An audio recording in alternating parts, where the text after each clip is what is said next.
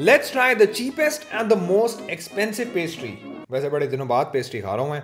खैर, पहले चीप से शुरू करते हैं, क्योंकि अल्टीमेटली भाई जेब तो डीली होनी है। तो सस्ती वाली पेस्ट्री खाने के लिए ना, मैं आया हूँ स्पेंसर्स एंड गेस व्हाट इनकी ब्लैक फॉरेस्ट पेस्ट्री में ना कुछ डिस्काउंट चल रहा था। सो मुझे फोर्टी रुपीज़ में मिल गई। भाई टेस्ट ना बहुत बेकार था इस पेस्ट्री का। अब समझ आया मुझे कि ये लोग ब्लैक फॉरेस्ट पेस्ट्री पे ही क्यों डिस्काउंट दे रहे थे। वैसे कभी कभी जो मेरे घर पे पेस्ट्री आती है, वो भी अराउंड फोर्टी फिफ्टी की होती है but they taste so good अब एक्सपेंसिव वाली पेस्ट्री खाने के लिए भाई मैं आया हूँ लॉपरा हाँ आई नो नाम से ही ये बेकरी बहुत एक्सपेंसिव लग रही है। They had so many appetizing options और मेरा मन कर रहा था यार कि मैं सारी पेस्ट्रीज में से ना बस एक एक बाइट लेके वापस उसे वहीं रख दूँ। Ultimately I ordered royal chocolate ये इनकी सबसे एक्सपेंसिव पेस्ट्री है and it is for rupees four twenty five भाई, अभी पेस्ट्री आई थी, और क्या कबाड़ा कर दिया मैंने इसका।